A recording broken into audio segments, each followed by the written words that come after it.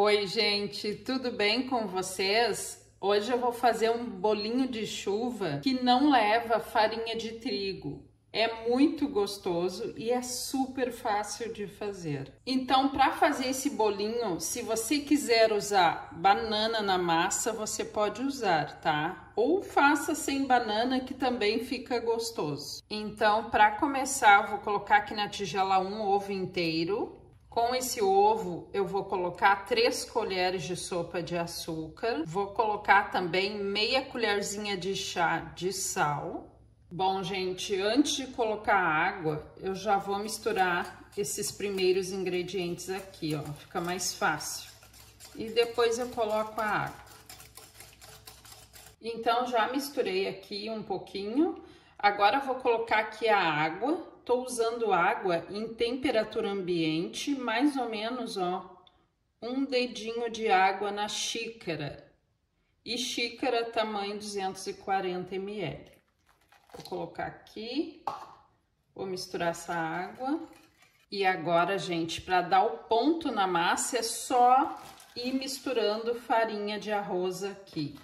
Eu vou colocando e vou misturando.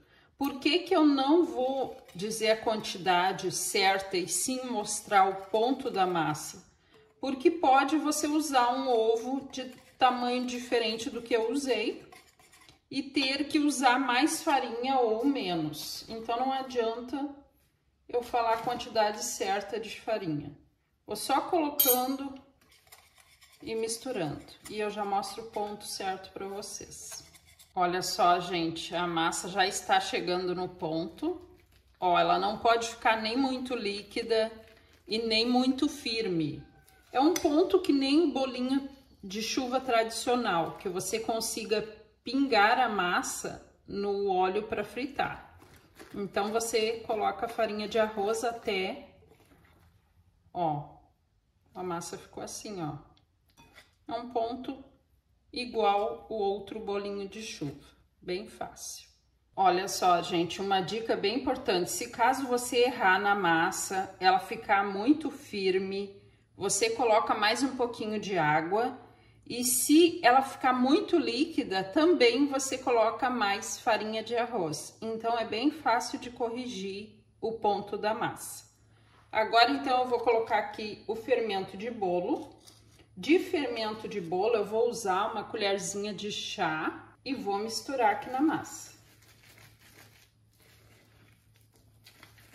Olha só, gente, acrescentei aqui na massa uma banana picada, tá? Então, vou fazer alguns com banana e outros sem, para você ver a diferença. Já coloquei o óleo aqui na frigideira, tá? Para fritar esse bolinho, você vai fazer igual você frita o bolinho tradicional. Ó, já peguei com um pedaço de banana junto. Agora, vou fazer um sem banana.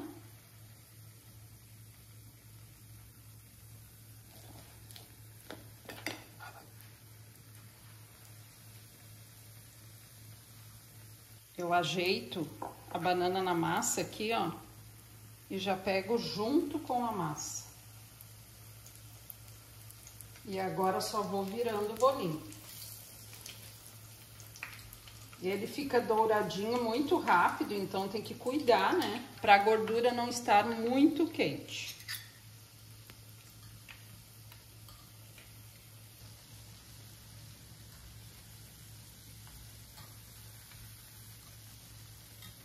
Ó, gente, já chegou no ponto que eu gosto, né? Que ele fique só douradinho, não precisa ficar muito escuro, então já vou tirar aqui da gordura.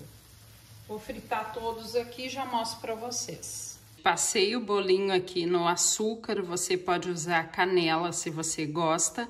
E uma ótima pergunta aí para você deixar nos comentários. Você gosta do bolinho de chuva sem nada? Você gosta dele com açúcar ou açúcar e canela? Me deixem aí nos comentários que eu vou amar saber o seu gosto. Então agora a gente vai para aquela parte bem difícil que é experimentar esse bolinho de chuva. Eu vou tirar um pedaço aqui e vocês vão ouvir a crocância dessa massa. Olha só.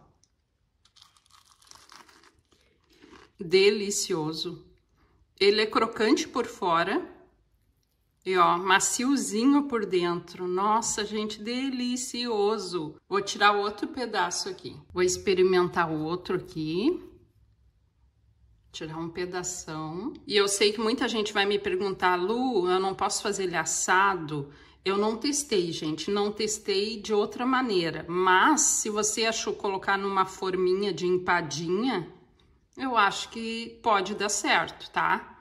Então, gente, não dá vontade de parar de comer esse bolinho de tão gostoso que ele fica.